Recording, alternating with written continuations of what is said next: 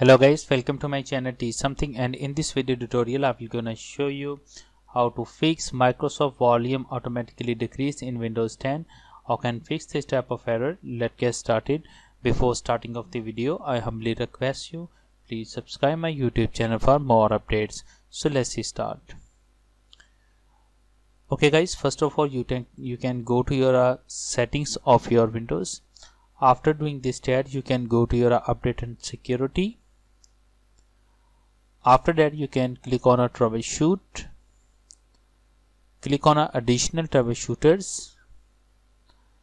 After that go down and find out a recording audio. Now select it and click on a run the troubleshooter.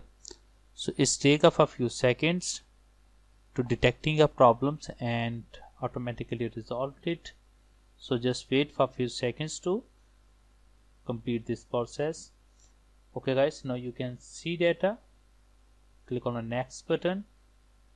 After doing this that close it I hope your problem is fixed but if your problem is still then you can try a second method.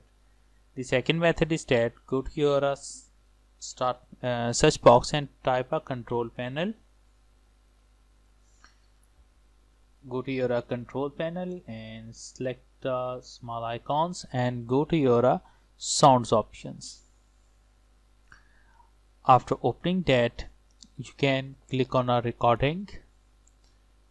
After doing this steps like a select a Microsoft uh, uh, microphone and go to your properties.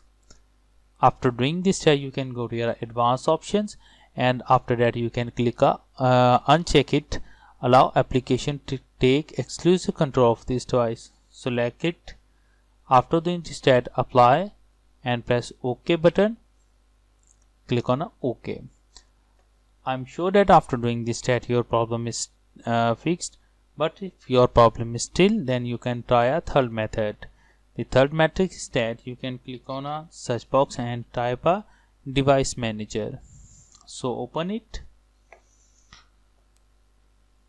After opening that you can click on a audio input and outputs. After doing this that you can select a microphone uh, and right click and you can update a driver. Now you can see that I have already installed the um, latest driver.